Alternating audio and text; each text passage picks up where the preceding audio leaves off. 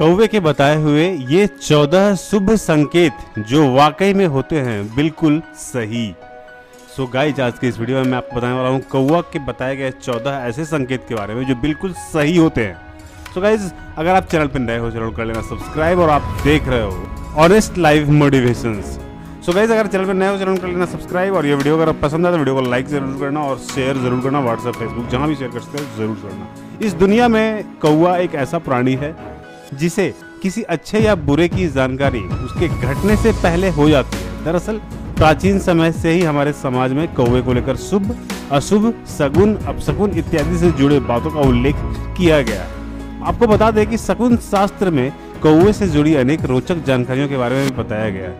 ऐसे में आज हम आपको कौवे से जुड़ी चौदह शुभ संकेत के बारे में बताने वाले हैं। ध्यान से सुनिएगा और ये आप नोटिस भी कर सकते हैं कि आपके लाइफ में ये चीज़ें जो है बहुत हद तक आपने इस चीज़ को फील भी किया होगा, महसूस भी किया होगा। तो इनमें चौदह संकेत क्या क्या हैं? तो पहला जो संकेत है कि कौवे को लेकर ऐसी मान्यता है कि यदि कौवा भूमि खोदता हुआ नज़र आए तो भारी धन लाभ होता है। जी हाँ गाइज़ यदि दूसरा जो है, यदि कौवा मुँह में रेत, अनाज, गीली मिट्टी या फल, फूल भरकर आपके घर ले आए तो यह अचानक से धन प्राप्ति के संकेत होते हैं। तीसरा जो है, वैसाख के महीने में यदि कौवा हरे भरे वृक्ष पर अपने घोंसले का निर्माण करे तो यह बारिश होने का संकेत भी देता है। चौथा, यदि सूर्योदय के समय कौवा आपके घर के सामने बोलता है तो यह आपके प्रतिष्ठा और धन में वृद्धि का सूचक होता है।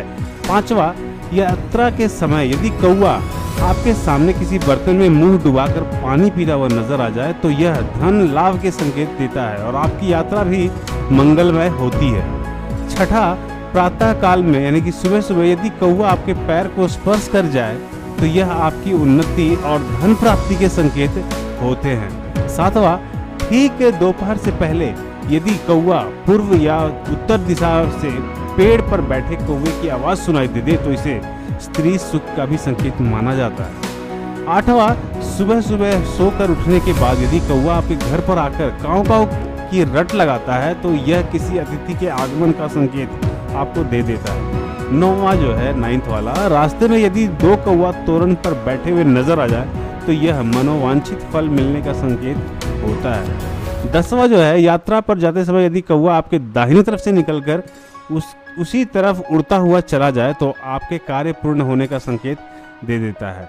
ग्यारहवा जो है, रास्ते में जाते समय यदि कोई कौवा यदि तोरण पर बैठा नज़र आए तो उसे मनोमंची मनोकामना जो है पूरी होती है है ना? बारहवा यदि स्त्री के सिर पर पानी का घड़ा रखा हुआ हो और उस पर कौवा आकर बैठ जाए तो यह उस स्त्री के लिए शुभ संकेत माना जाता है। और तेरहवा जो है, यदि कौवा अपनी चोच में किसी वस्त्र का टुकड़ा लेकर उड़ता हुआ नज़र आ जाए तो यह आपके लिए शुभ संकेत दे देता है। लास्ट में जो है fourteen number last but not the least रास्ते में यदि कौआ आप अपने मुँह में रोटी का टुकड़ा या मांस का टुकड़ा लिए दिख जाए तो यह आपकी इच्छा पूरी होने का संकेत देता है। सो so आज की इस वीडियो में मैंने आपको बताया, कौवा से जुड़ी चौदह संकेत जो कि आप लोगों ने इस चीज़ को नोटिस किया होगा।